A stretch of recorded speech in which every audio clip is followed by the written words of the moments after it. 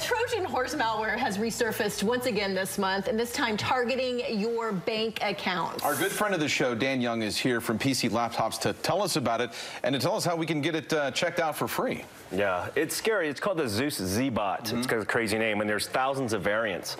But it's probably one of the most dangerous infections we've seen because it logs everything you type into your keyboard and sends it out in a packet which means that people could log into your, your home alarm system, mess with the temperature control, but scary yet, they could actually okay, get your bank account. Let's stop there. They can actually log into your home security system. Like, and, and if you have cameras in your house, they can sit there and watch you. Right, so if you actually got into your home, so you can log in and watch your cameras in your house. So it's capturing your login credentials, oh and then gosh. those people log in and they can control your alarm system, watch your cams, do everything. They could actually even control your computer's cam too. But I mean, you're talking about bank accounts, all of your money, things that could ultimately be much more costly to you. This is a pretty bad actor right here, as they say in the computer world.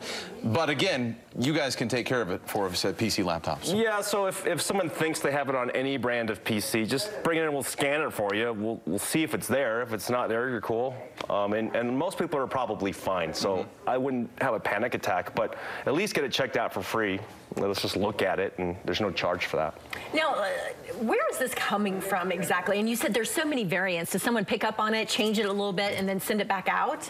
Yeah, the original was programmed more than a decade ago, and then you have copycats, and they take the code and they manipulate it to hit different angles. Some are trying to get your bank account, some are targeting uh, you know, logins to different things, and, mm -hmm. and some are just trying to just steal information, all different types of information. So it's it's a pretty big deal now. Pretty big deal. And I tell you what, if you're like me out there and you always just hit ignore, ignore, ignore on those virus scan pop-ups on your computer, go to PC Laptops. Check it out. See Dan. They'll set you up and make sure. And it's all free. The free virus scan. You don't have to buy anything, Dan. Uh, we appreciate it because you're just trying to help our, our, our viewers. Mm -hmm.